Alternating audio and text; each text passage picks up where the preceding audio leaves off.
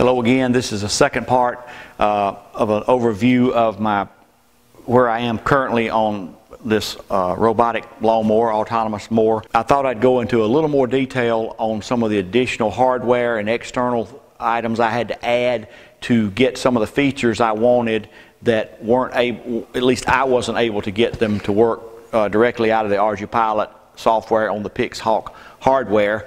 Uh, some of the, there may be ways to do it that I just was not aware of, but anyway, this is what I've done. Again, much of this is just somewhat thrown together from things I happen to have already on hand, uh, and would, you know, if I do it, improve this later, I'll likely change some of that hardware and consolidate some things, maybe use some smaller devices uh, and so forth. So anyway, so let me say the first, first thing I might mention is the safety feature that I, mentioned in the first video, which is based on uh, using a relay in series with the seat switch that detects that an operator is present and shuts down the mower if the operator's not on the seat when the blades are engaged and, uh, and the mower's not in park and that kind of thing. I've got a swi- uh, relay in series with that. I put connectors there so I can reconnect if I want to without this system in place or connect the relay in series as I will have it for normal operation. Um, so uh, to, to do that, I assumed that the PixHawk with ArduPilot software, with ArduRover, the ArduRover version of the ArduPilot project, um, would be able to operate a relay from its uh, auxiliary I/O. Um, I read all about that in the, in, in, on some of the forums and some of the documentation, but it turns out that is not implemented yet in the ArduRover version. So um, it, that didn't, didn't work. I spent a good bit of time getting my circuit ready with a, a transistor to, you know, the, the, the Ardu, the, the PixHawk has a very low current drive, like in the microamps, and so you need a, a you know, a transistor to, to drive the, the relay. Uh, so anyway, I worked on all that and then could not find how to do that in the software to get it to operate, and I learned that uh, it's not implemented yet. So um, some people worked around it with a device such as this Turnigy receiver controlled on off switch, which will take a PWM input and operate a, a, a you know a switch essentially that let switches up to 10 amps in fact um, I ordered this but before it came in I'd already worked on another solution with something I just had on hand and that is using an Arduino compatible board I actually using a, I'm using a SparkFun red board, but it's an Arduino compatible board. Um, with a very, very small program that simply detects the PWM signal, uh, you know, de determines what PWM value uh, is present, and can switch off, uh, turn on and off that relay based on that. So I have it so that when this is operating, I can switch this channel 5 switch and shut down the mower by the Arduino detecting uh, that I've you know changed that to the low end of the uh, PWM range and shutting it down. It um, and another uh, I chose rather than wiring that into the PixHawk, I, I wired the Arduino PWM input, the the the the, the I/O pin that's being used to read the PWM input input directly to the receiver module. Uh, this particular receiver, anyway, I don't know about others, but it, it has the S-bus output that's being used to, to communicate all the, the uh, remote uh, positions to the PixHawk. But in addition to that, the individual channel 3 through 8 also operate independently, you know, reflecting the, the uh, signals from the, from the remote control. So I was able to connect channel 5, which was that switch here, output of the receiver module directly to the uh, Arduino. That gives me a little bit more safety maybe in that if the PixHawk were to die or whatever, uh, I still have control of that shutdown relay as long as this receiver is operating. Another thing I wanted to do was have it so that if the receiver completely lost communication, the signal dropped from the radio control uh, transmitter, for instance, maybe battery died or just out of range, whatever, I didn't want the mower to continue to operate. So I thought that I expected that if the signal was lost, the, out, the outputs from the receiver, the PWM outputs, would go to zero, you know, just quit working or whatever. But it turns out they hold their last value, which makes sense as far as what you'd want to happen to a, uh, an airborne device maybe uh, when it lost control, you would want it to just continue as is. Uh, so the outputs hold, except for the throttle output, which again makes sense. Maybe you want, you know, you don't want the, the unit to just, uh, if it's a, a, winged device, you want to cut the throttle, but let it at least hold the, uh, uh, you know, air surfaces where they are so that it will glide down or whatever. I don't know. Anyway, that's the way it works. So, so I had to, what I did was connected an additional uh, cable from the channel 3, which is the throttle typically, to the Arduino as well. So it's actually reading two PWM signals and uh, giving a value you know, proportional to what the PWM uh, setting is. And um, it, it turns out that the throttle, if I have the throttle at minimum here, then uh, I get a signal down to, I, I want to say it's like 990 is the way it is reached with my current calibration. I get 990 if minimum throttle, but if I turn it off or lose signal, it drops on down a little bit more. Uh, so uh, I've got a, an if statement in there that detects, you know, if the throttle is less than I think 880 is the number I'm using, uh, whatever value I experimentally determined it was well below that uh, when the power was off. If it's below that, it kills the relay and shuts the motor down. Or, of course, if channel 5 is uh, in the position that I want to, to cut off the more, it cuts the more off. So that's my safety feature at the moment. I feel pretty good about that. It's maybe not quite as good as a completely independent transmission from a totally different device and all of that, but, but that's uh, fairly foolproof, I think, the way I have it uh, operating. So that was one external uh, device I added there. Um, and I'll, I'll show close-ups and talk about this more later. Now the other thing, uh, a big problem I had and had to come overcome uh, was the fact that this U-Blox evaluation kit with the C, C94 M8P evaluation modules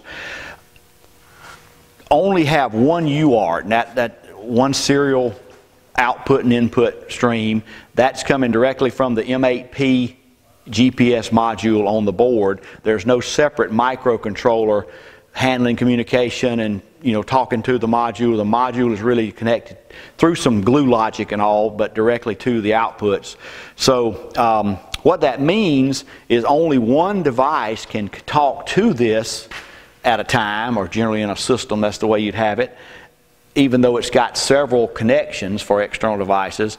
And now it could be, you know, other multiple devices could be listening to it. But so it turns out it has an RS-232 port with level shifters to, to full RS-232 levels. It has a TTL level uh, output and input on a, a header connector on, on the board. Uh, and it has connection to the radio modem that goes to the 915 megahertz radio between the two.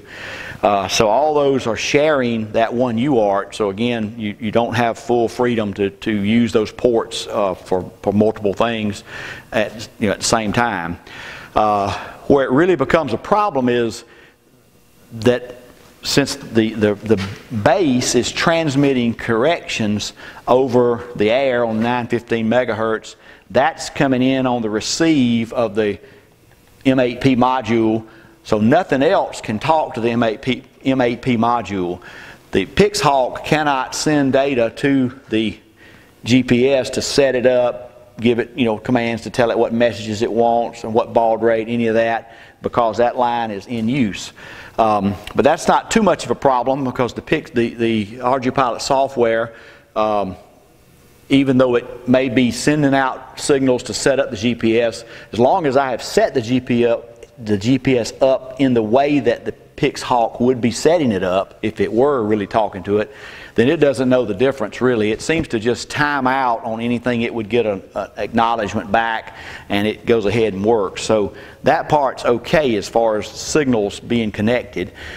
but the real issue is that the radio modems are operating at 19,200 baud.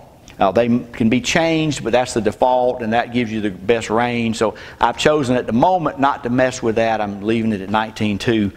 Um, but that means, since it's just one UART, if I've set the baud rate for 19.2, that's also the baud rate that's going to be communicating the GPS position data over to my uh, ArduPilot uh, PixHawk device. Well, it turns out that ArduPilot and ArduRover expects the GPS signal, GPS baud rate to be at 115, 200. At least that's what I'm, I'm confident that's what's happening with my system anyway, with the, uh, this u-blox GPS connected and it not actually being able to communicate in both directions. Um, it's sending out 115, 200. I discovered that by, by snooping on that line with a, a TTL to USB converter hooked in to my uh, laptop and watched it. And, and, you know, when I set my, my uh, PC at 115, 200, boom, I started getting valid data that matched up with the data sheet. Everything looked good. So I knew that's kind of what was going on. Um, well, let me drop back and say, I didn't quite say that correctly. I bought, just for the purpose of, of determining this, a u-blox GPS. Now this is an M8N, G, uh, very common version of the u-blox GPS and connected it. I had to actually go in and solder some pins so I could come off to my TTL to GPS, TTL to USB converter and uh, read that into the PC. And I discovered that when it's talking to the PixHawk and working, it's doing it at 115, 200 baud. And uh, so I know that the software could possibly be modified and, and uh, there are settings for the serial port baud rate, but all that seems to be ignored when it's communicating with a u-blox uh, uh, GPS. So that's been my experience anyway. Again, I'm, I'm not real knowledgeable of all this.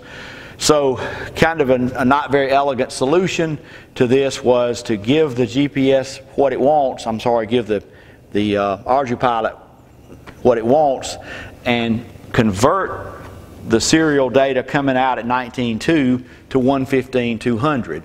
Um, I did that using a an Arduino Due module I had ha on hand. I'd never used, had it for several years in the box.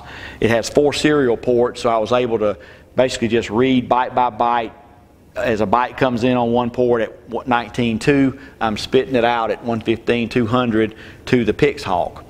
So that let things work. The PixHawk now is reading, you know, getting the data from the GPS all as well, except for one point that was pointed out on the forum, uh, and I certainly appreciate this and expect that I may have trouble, but so far I'm just kind of monitoring and trying to be to notice how things op work. But um, the the PixHawk I should say ArduPilot really because it's all about the software and what it's expecting. It needs five inputs of GPS information per second, so a 5 hertz update rate. And so um, I looked at again on the PC looking at this M8N GPS and also then hooking up the, the, the C94 M8P module as well. What I discovered was the, the messages coming across routinely uh, are the most I could really saw in one cycle were a certain set of messages that added together were 290 bytes. And if you work out the math, that means you need 14.5 kbaud to communicate 290 bytes five times a second. So there's a little room there between 14.5 and 19.2 that I'm set, but that's not a lot of room. You don't you, you, never really want serial communications that depends on buffers and things to get close to 100% of the available bandwidth. So, uh, you know, some things could happen that something's busy and, you know, I could have problems with late data lagging or missing. Uh, I realize that that could happen. So I'm still waiting to see, but at the moment I haven't detected that. It's been operating okay. So I'm not flying something in the sky, fortunately. So if it fails, it's just going to not work right out there on the ground. Got my safety features, I can kill it. So I'm not too worried about just playing around and seeing what happens. Um, but I may change. There are certainly workarounds to have the GPS uh, data uh, upload through Mavlink. that's part of the mission planner and uh, ArduPilot in, uh, ecosystem and have it use that method of injecting the correction data and you know other possibilities. But at the moment, I'm, I'm trying to give this a, a, a shot with the built-in capability of the of the modules that I'm using. So I think that's the status of the, the additional things I've added in at the moment um, to take care of little features that I had trouble with with the built-in uh, everything that's built into ArduPilot as it is. But I'm very pleased with how well the PixHawk works, the, the connectivity that it has, all the ports and all. Oh, I'm using telemetry. Uh, I bought these 433 megahertz uh, telemetry modules. One's on the connected to a serial port on the uh, PixHawk, and this one plugs into the PC with USB, uh, so that Mission Planner can be in constant communication with the rover it's, as it's moving around. I've got a few videos showing the rover going across the field about a quarter of a mile to my house. I'll have those on my YouTube channel also. You can watch. I'll do try to do some more videos of it doing other things in the field. I'm still tuning uh, control loops and uh, I've done a lot of PID tuning in my career, but there's, this is a little more difficult because not only is it just PID parameters, there's several other layers of control uh, with other parameters, but I've, I'm fairly happy with how well it's working with no more effort than I've had uh, put into it. It's, it's, it's, driving pretty well in auto. Um, and uh, let's see. I think that's all. I've certainly got some interesting points I'll make in another video. Sorry for this getting kind of long, but uh, related to the uh, the locking mechanism that's built into the bad boy more. When you're when, you before you crank it, you have to have the arms out, have it in park, and uh, I've got those actuators connected, so there's a little danger there. If they were to try to move while this is out, it would probably break, you know, tear up the actuator because these are in a locked position, won't move. Uh, so a uh, few little things there to, to do cautiously when you're cranking it up, getting it underway and all. Uh, and I may make some changes so that I can't, you know, so it'll be foolproof. Right now I'd have to do things in a certain order to be sure that I don't have a, a chance of, of it trying to move those arms when they're in the locked position. Thank you for watching.